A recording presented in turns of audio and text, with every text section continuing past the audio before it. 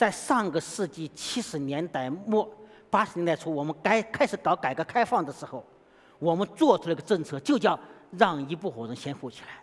但是，一个立志为全体中国人民谋幸福的政党，他说出这样的话，而且他还把它做做成政策，为什么？我说，我们一定要回到当时的那个历史时期去看问题，因为我我们中国社会。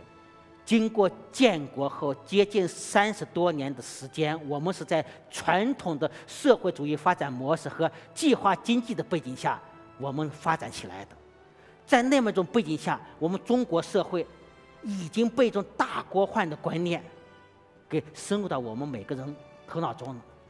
大家都是不敢富裕的，因为你一富裕就是资本主义，我就要割你的尾巴。所以在那种情况下。如何让我们中国的老百姓大家敢富裕、能富裕、会富裕？怎么办？共产党人要率先做示范，给大家吃个定心丸。所以在那个时候，我们说共产党员带头致富，这是我们历史政策的必然。这个历史政策的客观必然性，我们到今天坚决不能否定。但是呢？任何政策它都是有历史时效的。